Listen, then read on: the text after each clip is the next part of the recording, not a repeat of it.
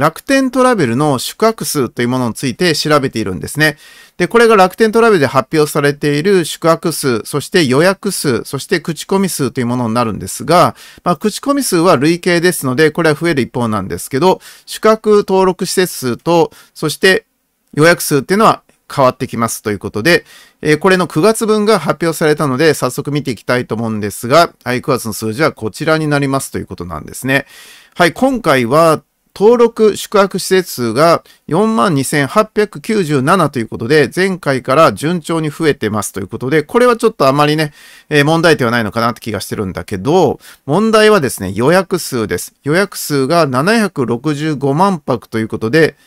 先月よりも12万泊下回ってしまいましたということなんですが、このね、1ヶ月ごとで見るとちょっとよくわからないので、これをですね、表にしてみたいと思うんですね。えー、こちらから見ていきましょう。はい、これはあの先月に使ったスライドなんですけど、これによりますとですね、7月は777万泊で、8月はどのぐらいの数字が出るかっていうことで僕が予測を立てた数字があります。それがこちらだったんですね。690から700万泊ぐらいになるんじゃないかと。まあ、前回よりマイナスになるんじゃないかという予測を立てたんですが、結果はどうだったかっていうと、良かったです。765ということで、僕の予想を上回ってくれたんですが、でも惜しい。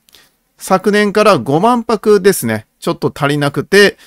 また9ヶ月連続の昨年同月比マイナスを更新してしまったということで、ちょっと残念なんですよね。というのは、あの兆しがあったんで、惜しかったですね。僕の予想よりも高かったんでね。ということで、9月の予測をまた立てていきたいと思うんですけど、9月はですね、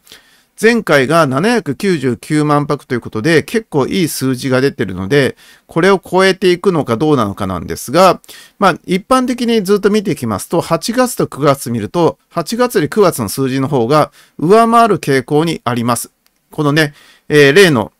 流行り病の前の時と、そして流行り前が終わった後で見てもプラスになっているので、そう考えていくと、今回は800万弱、790から800ぐらいで収まるんじゃないかという予測が立ちますね。このぐらいになるんじゃないかなと思ってるんですけど、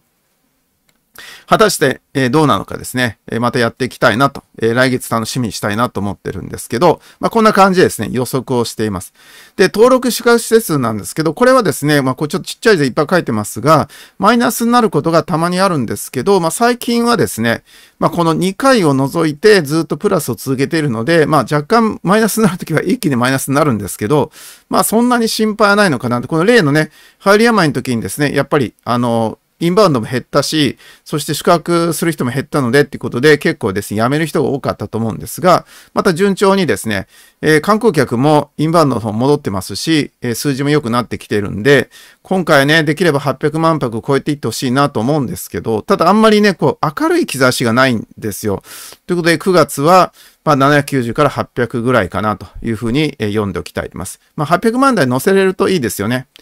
はい。ということで、えー、9月の予測を立ててみました。